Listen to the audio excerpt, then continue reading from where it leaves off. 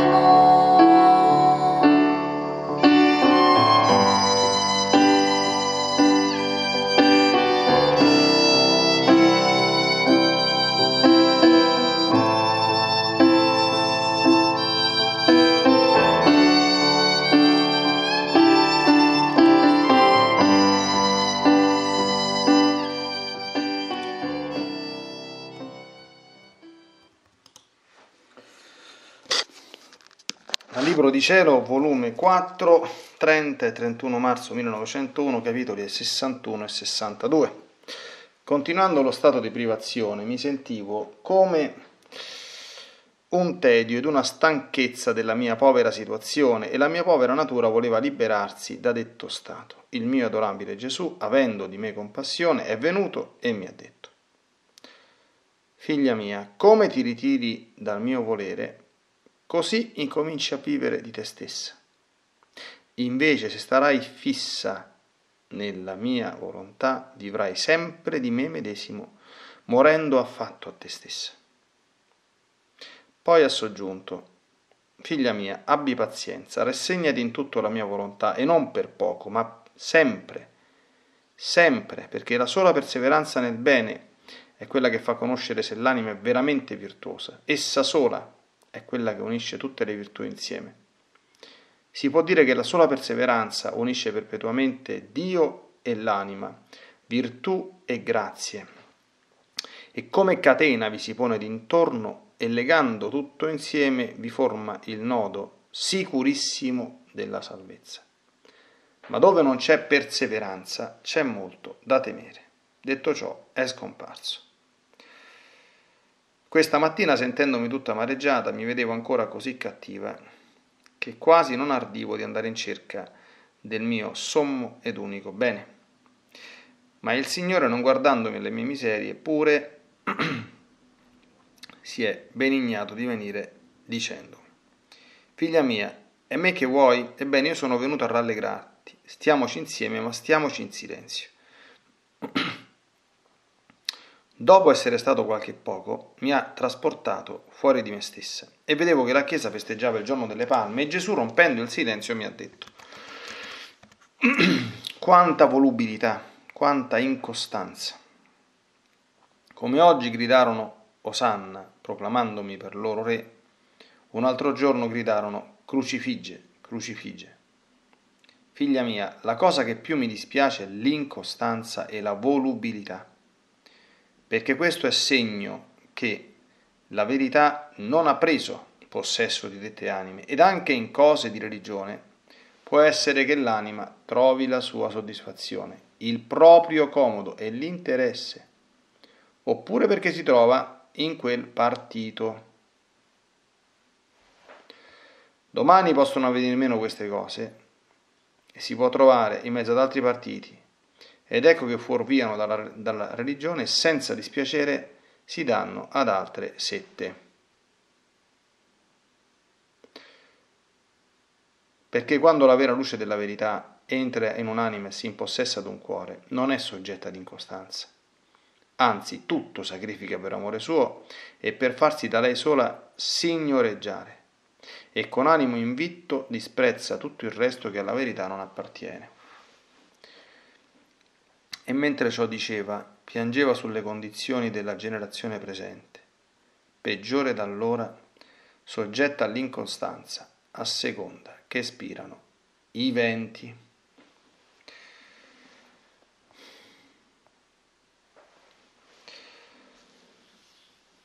Eh, sono molto ricche queste considerazioni che anche oggi fa Gesù, soprattutto il secondo capitoletto, a mio avviso, è anche molto molto molto profondo e molto istruttivo sia per leggere bene il proprio cuore sia anche per comprendere bene alcuni fatti di attualità proprio storica anche politica se vogliamo quando parla dell'appartenenza al partito o anche ecclesiale quando Gesù fa esplicito riferimento a chi nelle cose di religione cerca il proprio partito il proprio comodo interesse o soddisfazione. Ecco, questo perché, come sempre, mm, anche in queste prime fasi, anche se qui vedremo Gesù ha un discorso esplicito sulla divina volontà, e fin da subito mm, in questi scritti Gesù manifesta una delle caratteristiche fondamentali, a mio avviso, del regno del divin volere, che è quello in qualche modo di Mm, sollecitare, ecco, sollecitare come dire con una certa non con una certa chiarezza, ecco, fermo sempre restando la libertà della, della creatura che è un principio sacrosantissimo, specialmente in questo mondo, della divina volontà, però la sollecita a tirare fuori quello che ha dentro, ad andare a guardarsi in fondo a interrogarsi con sincerità, perché dinanzi, dinanzi alla divina volontà non ci possono essere blef e tutto il nostro rapporto, tutta la nostra, la nostra vita, non soltanto la vita di fede, proprio la vita, la vita, quindi la nostra esistenza, si struttura e deve strutturarsi davanti a Dio, dinanzi al quale tutto è nudo. Allora non possiamo nascondere niente. Possiamo nascon- provare a nasconderci da lui, come fece Adamo, ma senza, senza successo. Un'operazione molto più frequente, molto più diabolica è nascondere noi a noi stessi. Perché nascondendo noi a noi stessi non stiamo nella verità e quindi, come Gesù qui spiega benissimo, non possiamo né stare né perseverare davanti a Dio. Allora eh, quelle parole bibliche, no? Eh, egli scruta i cuori, metterà a nudo le intenzioni dei cuori, allora ciascuno avrà la sua lode da Dio, no? Bellissimo, no? Non, giudico, non vogliate giudicare nulla prima del tempo, queste sono lettere, poi finché venga il Signore, dice, egli metterà alla luce i segreti dei cuori, no? Allora ciascuno avrà lode da Dio. Questo è, è un passo della lettera di, di San Paolo. E, allora, cosa c'è nel nostro cuore? Gesù comincia, bellissimo, gli spiega anzitutto che la vita nella divina volontà è uno stato, diciamo così, non è qualche momento. Ecco perché dice vivere nella divina volontà, no? Cioè, eh, sapete che tecnicamente noi diciamo io vivo a Roma, ecco, ma come dire, tecnicamente proprio da un punto di vista di analisi logica, il complemento di stato in luogo, appunto di stato in luogo si dovrebbe tradurre, io vivo in Roma, io vivo in Latina, io vivo in Napoli. E si chiama appunto complemento di stato in luogo. Perché di stato? Perché è una situazione stabile, quindi dove uno ha la residenza, ci vive. Non è che ci pensa, ma eh, ecco, certamente, ecco, e quando uno sta in qualche paesello come, come il sottoscritto, ci sono anche persone che si vantano, e questa è la scuola per la divina volontà, che non hanno mai messo il naso fuori dal paesello. Ecco, questi sono un ottimo, quando uno si riscruta, ecco, così dovrebbe essere la vita nella divina volontà, perché nelle grandi città, sapete, la, la mobilità di questi tempi è abbastanza frequente, no? i viaggi, macchine, navi, treni, aerei, moto, eccetera e... Però nella divina volontà si vive senza uscirne mai. E Gesù spiega, come ti ritiri dal mio volere, così incominci a vivere di te stesso. Cioè questo ogni istante della nostra giornata è così. Cioè, io in ogni momento eh, posso stare a vivere di mia volontà o di divina volontà. Ecco, voi sapete che le fissazioni sono una patologia psicologica i fissati. Ecco, ma se uno volesse fare, come dire, un'analogia ecco, un po' graziosa e santamente ironica, se, se, se, se si può usare questo termine, quelli che vivono nella vita sono fissati, sono, d'accordo? Non nel senso che sono malati, ma c'è un punto fisso da cui non ci si sposta. E qui dobbiamo sempre pensare a, alla vita della Madonna, no? Ma anche poi a un certo punto alla vita di Luisa, perché anche Luisa ha fatto questa vita veramente. Pur se non in maniera eroica, insomma, assolutamente perfettissima e, ininterrotta dal concepimento fino all'assunzione come è stata in Maria Santissima, però l'ha fatta. E qui Gesù glielo sta insegnando. Anche più avanti nei volumi, mi sembra che nel volume 16 o nel volume 17 che c'è questo brano, dice sì, tu ci stai dentro il mio, ogni tanto fai qualche piccolissima escursione, ecco, e poi rientri, no? Ecco, anche nel 1900 Antezia Mariati, la 1900 non mi ricordo quanto, quindi, quindi questo è, è, un, è, per noi che siamo fallaci, ecco, e siamo imperfetti, questo è un cammino eh, perpetuo, no? però la Madonna neanche un secondo a fare un atto di volontà propria, no? Questa è una cosa in cui piano piano eh, la nostra mente deve abituarsi ad entrare, non è una cosa, ecco, eh, come dire, è una cosa semplice, semplicissima, ma non è una cosa facilmente raggiungibile, quindi perché richiede un proliferare di conoscenza, un tornare con la meditazione sull'importanza di tante cose, non fare l'attenzione, quindi è un lavoro continuo. E poi gli parla di, quella, di, di quell'aspetto, uno degli aspetti del vivere nella divina volontà, che è la rassegnazione in tutto alla mia volontà, che significa prendere, questo è un aspetto fondamentale perché non è soltanto uno stato, no? quindi un cercare di imparare a non agire mai con un atto di volontà mia, eso significa moltiplicare gli atti, diffusione, gli atti attuali, eccetera. No? Quindi non essere mai il principio, come dire, originante di nessuno dei nostri atti, né pensieri, né parole, né passi, né gesti, zero. Ecco, quindi. Questo però non basta, d'accordo? Perché la giornata, la vita ci mette dinanzi tante situazioni dove la divina volontà c'è, c'è incessantemente, ma anche negli esempi, come dire, nelle cose più banali e più comuni della vita. Tipo te se brucia una cosa mentre stai a cucinare. Quando impareremo a, a, a riconoscere anche la divina volontà in queste piccolissime cose, saremo a buon punto. Stare rassegnati significa stare sempre aperti ad accogliere tutti i modi con cui la divina volontà in continuazione ci si para dinanzi eh, e imparare a non vedere mai più nulla con occhi umani, ma sempre con occhi tutti divini. Eh, questo non è il lavoro di una mezz'ora. Allora, per questo lavoro, cosa, quale virtù ci vuole? Ci vuole la perseveranza. Eh. Ah, un'anima non perseverante possiamo assolutamente stare tranquilli che qui dentro non ci sarà mai.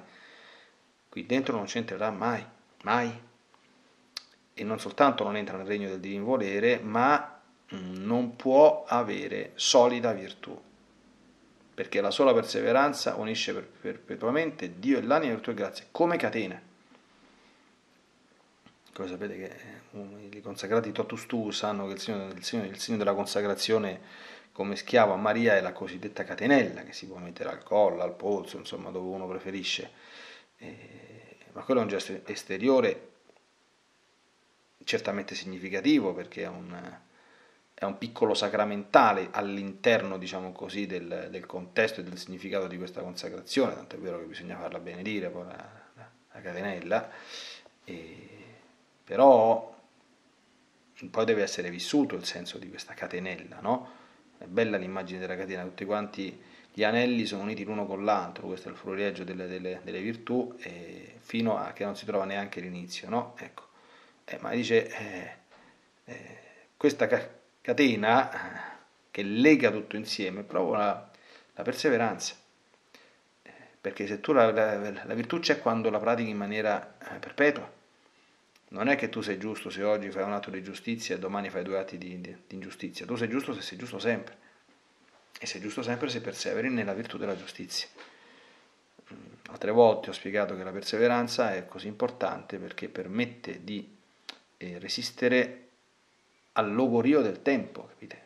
Non si è santi, non si viene una volontà se un giorno faccio tutto, faccio 3.000 atti e faccio una grande attenzione, quindi non muovo un passo senza essermi fuso e sto attento a tutto quello che accade, cerco di leggervi la volontà di Dio cerco di non opporre resistenza, cerco di non alterarmi, cerco di comprendere quello che Dio vuole dirmi e tante altre cose e poi il giorno dopo non faccio nulla, non va la perseveranza, la prima cosa. Secondo capitoletto, ecco, Gesù, eh, tutto quanto è bello, questa è una piccola parentesi diciamo, spirituale, Gesù la porta con sé e dice stiamoci insieme, rallegrati in silenzio. Ecco, è bello vivere a volte, anche quando stiamo in adorazione, il nostro personale rapporto d'amore con Gesù in silenzio, godendo della presenza bisogna osare dire l'uno dell'altro, perché noi godiamo certamente della presenza di Gesù, ma noi sappiamo, e da questi scritti ce ne viene la conferma, che Gesù brama, desidera, gode della presenza amorevole di una sua creatura, che lo ama, che gli ricambia l'amore, che riconosce l'amore, che glielo ricambia. Uno dei modi di stare con Gesù è appunto lo stare in silenzio, no? come raccontava il curato d'Ars di quel povero contadinozzo che trovava in chiesa, eh, che dice, che, che fai tu qui dentro? Dice, niente. Lui è lì, guardando il tabernacolo, io lo guardo, lui mi guarda e questo ci basta, no? È una forma molto alta di, di, di preghiera, quindi, quando la si vive eh, autenticamente. Poi però e rompe il silenzio e lo porta a vedere il giorno delle palme e Gesù lamenta i facili passaggi, questo è un tema tipico tra l'altro della predicazione eh, anche quaresimale, no? della settimana santa, dei grandi predicatori della storia della Chiesa, si passa dall'Osanna al crocifigge con estrema facilità. E qui dice, attenzione, le anime volubili, le farfalle, eh, le farfalle intese in senso non positivo, perché la farfalla è anche un bellissimo animale utilizzato da, da Santa Teresa per descrivere la trasformazione dell'anima da, da, da, da baco a farfalla, quindi, però la farfalla ha anche una valenza negativa, perché la farfalla, come sappiamo, gironzola, ha quel volo ecco, ondulante dove gironzola da un posto all'altro senza fermarsi mai, ecco, che quindi anche l'immagine della volubilità. Allora ci sono anime che non trovano pace, d'accordo?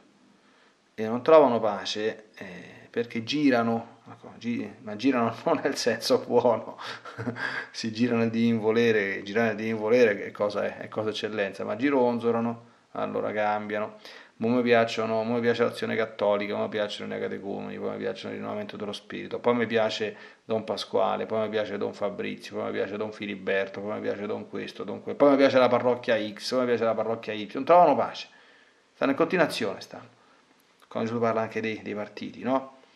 Ah, prima il mondo del tradizionalismo, poi no, però i progressisti sono belli per altri aspetti, i modernisti del qua, del qua, o quelli che si entusiasmano, capite? C'è il parroco, oh è venuto il parroco aperto, no invece l'altro parroco è il parroco chiuso, è venuto il vescovo eh, come dire, tradizionalista, invece quest'altro vescovo è troppo aperto, è venuto il papa progressista, è venuto il papa tradizionalista.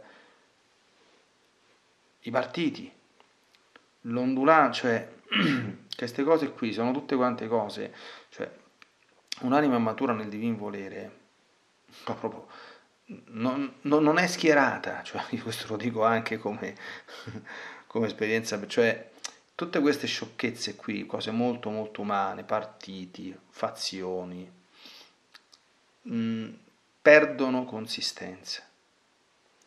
Perché un'anima che vive nel divino volere è unita a Dio, ogni, come dire, posizione, partito significa proprio nella, nell'etimologia stessa del termine, parte significa, significa una visione parziale delle cose, capite? Una visione parziale, perché non si può essere né progressisti eh, o modernisti né conservatori o tradizionalisti, eh, sono sbagliate entrambe le cose, d'accordo? Nella verità si sta nella divina volontà, così come si sta nella Chiesa, sapendo che ha duemila anni di vita, e camminando nel 2018, quindi non con prospettive, parametri e forme che erano adatte al 1400. Questo è, è, talmente ovvio, ma senza andare a fare tutte cose. Perché dietro queste cose, spiega Gesù, la persona non sta cercando Dio, questo magari la persona sta cercando la propria soddisfazione, il proprio comodo, il proprio interesse. E sapete cosa c'è molto spesso dietro, sappiamo, dietro tutti quanti questi gironzolari, anche chi eh, si appiccica ai preti, gira di prete in prete, io mai ho fatto acquisito il repertorio. C'è il nulla, cioè non sono, non sono il nulla, a volte ci sono delle situazioni di eh, profonda inconsistenza psicologica, grandi ferite di vita, insoddisfazioni, vite distrutte, dove qualcuno cerca qualcosa a cui appigliarci. Noi cerchiamo un punto fisso, Tut, tutti gli uomini cercano qualcosa. Ecco perché Gesù dice fissati nella mia volontà e basta. E poi cominciano tutte quante, allora, cioè, le idolatrie, l'appiccicarsi a qualcosa. Può essere il prete, può essere il capo del partito, può essere il rappresentante ecclesiale, poi ah, è arrivato quel vescovo, ah, è arrivato quel vescovo, questo è il vescovo dei vescovi, ah, è arrivato quel papa, ah, questo è il papa dei papi. Non vanno bene questi atteggiamenti, non, non è amore e devozione al vescovo questa qui, né amore e devozione al papa. È figlio di questa roba qua. Capite? Non si ama la persona, si ama l'ufficio che la persona ricopre, che è sacro e che è divino. Punto. E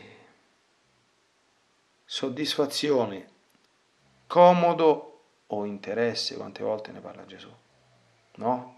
A volte uno, come dire, eh, per esempio, eh, queste sono, sono cose vissute, no? Fa parte di un movimento ecclesiale. Magari dentro questo movimento ecclesiale si trova poi a dover assumere dei ruoli come dire, importanti di responsabilità, di governo, di animazione, attivo, no? Guardate che il cuore dell'uomo ha trovato, come dire, il suo posto, cioè lui lì dentro è importante, è qualcuno, capite? Cioè, non lo so come si chiamano, è responsabile, è direttore della scuola di preghiera, adesso io non li conosco molto bene tutte le dinamiche dei movimenti, ma sento parlare, no? Allora, non è infrequente che succede che una persona a un certo punto sente che magari c'è qualcosa che non va nel movimento X, nel movimento Y, nella realtà Z, ma semplicemente perché Dio gli sta presentando, gli sta chiedendo altro, cioè queste cose non sono realtà assolute, eh. capite? Cioè tutto quello che noi viviamo, eh, niente è assoluto, perché assoluto è Dio, eh. quindi tutte le altre cose sono strumenti e sono mezzi di cui la grazia di Dio si può servire, se ne serve anche, ma può tranquillamente farne a meno o può semplicemente somministrarti altro. Capisci? Non succede niente. Allora però che succede? Che se io qui dentro ho trovato me stesso, ho trovato la mia importanza, ho questa funzione, sono stimato e riverito, cioè, capite? Uno non, non esce dal movimento per questo motivo, non se lo dirà mai, ma è così. Perché? Perché ha trovato lì dentro la propria soddisfazione le proprie frustrazioni, il proprio sentirsi inutile, il proprio sentirsi non considerato, non amato, non stimato, è, come dire, surrogato da questo. Ma perché nelle parrocchie non accade la stessa identica cosa? Certi personaggi, cioè chi vuole sempre andare a leggere, chi, vuole, chi, chi, chi passa col cestino delle offerte, che guai se qualcuno si azzarda a fare una cosa di più, chi, chi mette a posto i fiori, cioè sono tutte, cioè, sono tutte dinamiche profonde, d'accordo? Non c'è, capito? Mettere a posto i fiori nella chiesa è un servizio bellissimo, no? Ma chi lo fa deve chiedersi perché e per chi lo faccio e come lo faccio. Perché anche in quello, cioè una cosa così, allora, così importante, se è fatta come appunto da, da, un punto di vista profondo, come surrogato dietro la tua importanza, ecco, eh, mette guai a chi, a chi li tocca perché questa è una cosa che devo fare io perché mi fa sentire vivo, mi fa sentire importante, mi fa sentire qualcuno, il parroco mi dice bravo, mi gratifica, eccetera, eccetera. Questa cosa agli occhi di Dio non vale nulla, nulla. Anche se è una cosa di per sé stessa bella e buona, perché mettere un fiore dentro una chiesa è, è un atto di per sé stesso, come dire, di, di, amore, di culto, di devozione nei confronti del santo, del Santissimo Sacramento, della Madonna, insomma, di dove si portano, dell'altare, dove si portano i fiori. Allora, comprendiamo queste cose qui, no? Allora, che succede? Da dove si vede la, la, la, la volubilità? Ecco, che un giorno cambia il parroco, il parroco non ti gratifica più e tu smetti di mettere a posto i fiori. per chi lo facevi quella cosa? Per ottenere la gratificazione del parroco. Faccio il primo esempio sciocco, no? Oppure eh, se, se, sei rimasto nel movimento per tutto quel tempo, eh, perché anche se non ti andava più, ecco, ti tolgono da quell'incarico di responsabilità, ecco, allora lasci il movimento.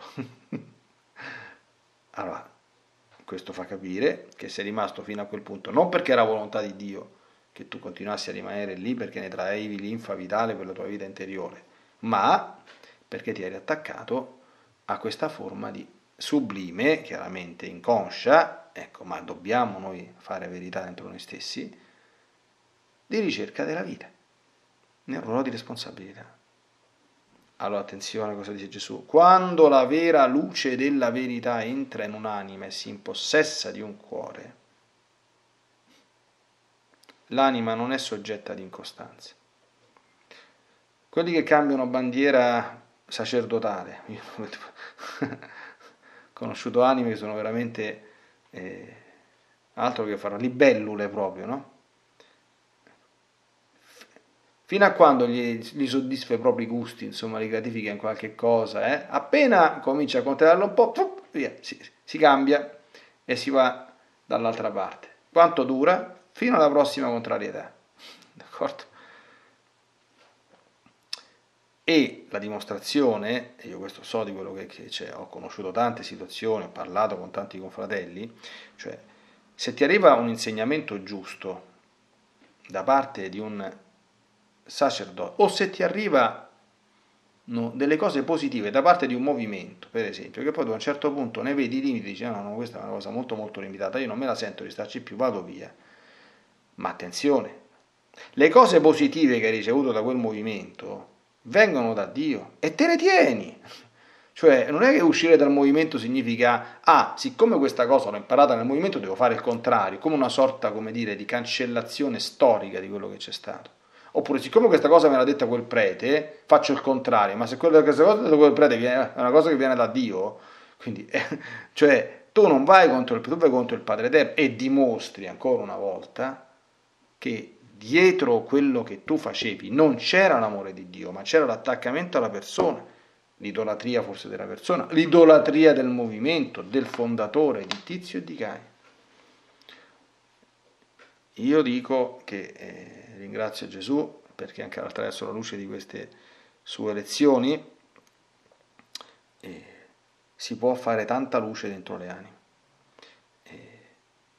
Io dico queste cose, cioè mi, mi riesce anche abbastanza facile meditarle perché ho esperienza di quasi 14 anni di sacerdozio esercitato, insomma, quasi ho fatto solo questo, non ho mai avuto incarichi in curia o cose di questo genere, quindi sono sempre stato parroco o viceparroco per, per, per i primi due anni, insomma, e quindi in cura d'animi, quindi ho avuto modo di poter farmi questo bagaglio, insomma, che, che è un bagaglio anche, come dire, di, di, di, di realtà vissute e constatate. Quindi insomma quando faccio qualche considerazione, fermo restando insomma che la fallibilità umana che certamente mi trova perfettamente soggetto ad essa, però c'è un pochino di eh, corroboramento ecco, derivante dalle esperienze vissute. Quando la vera luce della verità entra in un'anima e chiudiamo e si impossessa di un cuore, l'anima non è soggetta ad incostanza, anzi tutto sacrifica per amore suo, e per farsi da lei sola signoreggiare. E con animo invitto disprezza tutto il resto che la verità non appartiene. Io capisco che quella cosa non va bene e non, mi, non ci voglio più niente a che fare.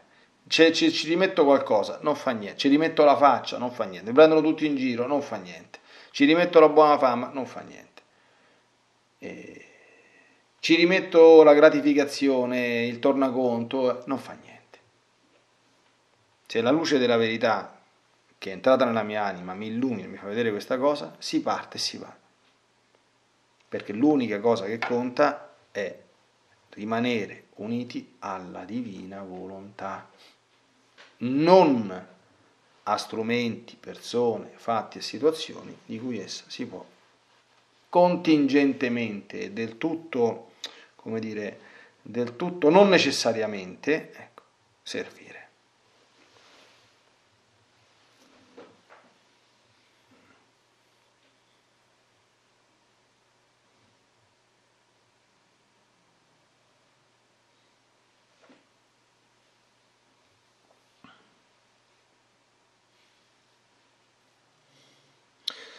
O Divina Maria, la Sacra Scrittura ci ricorda che Dio detesta gli animi incostanti, dice nel Salmo 119, ed anche il tuo San Luigi ci ricorda che non è assolutamente possibile che un'anima ti sia demota se è un'anima volubile. La volubilità è un problema grosso nella vita interiore, molto molto grosso, così come l'incostanza e la mancanza di perseveranza. Noi ti chiediamo con tutto il cuore di liberarci da queste pesti, ma soprattutto tu che, hai, tu che sei la donna veramente dell'interiorità del silenzio e anche la mamma, ecco, di aiutarci delicatamente ad entrare nei meandri del nostro cuore a fare luce, chiarezza e verità, ecco, per non percorrere un cammino di doppiezza.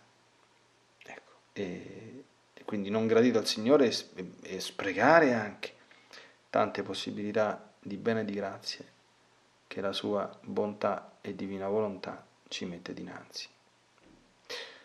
Nella divina volontà, nel nome del Padre, del Figlio e dello Spirito Santo. Amen. Ti benedico per aiutarti, ti benedico per difenderti, ti benedico per perdonarti, ti benedico per liberarti da ogni male, ti benedico per consolarti, ti benedico per farti santo. Ti benedico dunque nella divina volontà, nel nome del Padre, del Figlio e dello Spirito Santo. Amen. Fiat Ave Maria.